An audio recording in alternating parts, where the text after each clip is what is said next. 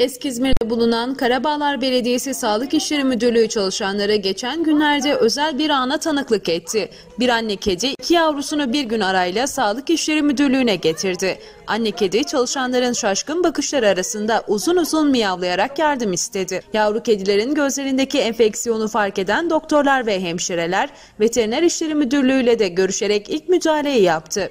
Olur. Ona göz damlası yok mu hiç burada? Hiç yok. Ay şu eczaneden alalım bir tane. Damlatalım.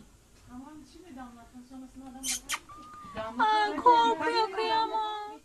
Sağlık İşleri Müdürlüğü çalışanları anne kedi ve yavrularını ilk gördüklerinde çok şaşırdıklarını belirtti. İlk kez böyle bir şey başımıza geliyor. Hem duygulandık hem de iyileştiklerini görünce çok sevindik dediler.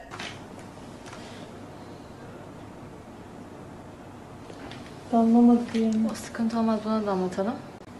Bunun gözü çünkü kapalı hala.